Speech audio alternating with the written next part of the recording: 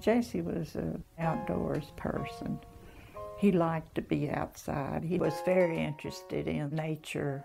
His parents died during the flu epidemic. He was three years old. So the aunt and uncle said they would take him and raise him. He never complained about anything that he had to do, but he was ready to go to town and get a job when he got his degree from high school. His brother worked for a local oil company, so he took a job with a seismograph company. It was a natural for him. He wasn't afraid to get his hands dirty, and he knew he loved it. He knew that's what he wanted to do. It was really his passion. We met at the First Methodist Church in Beeville. When he got back from overseas and was released from the Army, we needed to settle down somewhere. So the GI Bill was available to veterans. And so I uh, suggested perhaps he might look into going back to school. Thankfully, he settled on UT. He was a very conscientious student and he made good grades and he was able to finish his bachelor's degree. The professors encouraged him because he was a good student and they saw potential in him. And he was given opportunities through the teaching fellowships after he got his bachelor's. And he did get his master's. The professors wanted him to get his PhD, but he couldn't wait to get in the oil field, so he took off, and Humble did offer him a job.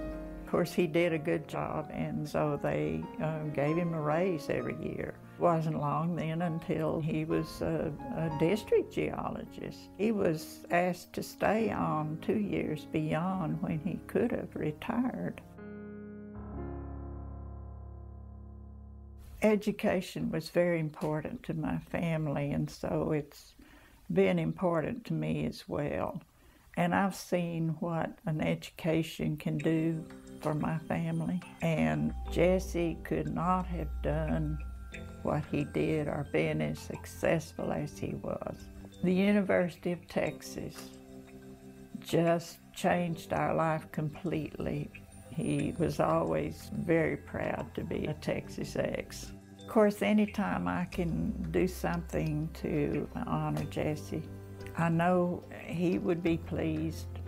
And so I wanted to give back. And one way that I could do that was to establish scholarship in the Department of Geology. Jesse would have loved the rock garden. It's important to me that this is uh, a focal point, a place where the students could go and meditate or visit or study and to be in an atmosphere of nature. This would fit in with what he would love. This is a very exciting time. The field of geology has expanded. I think now if you get a degree in geology, particularly an advanced degree, you can go anywhere in the world and do anything you want to do. I just feel very proud to have a part in helping students to be able to be successful. I get to go back to the campus quite often, and I look forward to my next trip down there, which is scholarship. I don't want to slow down until I have to. As long as I can go, I want to go.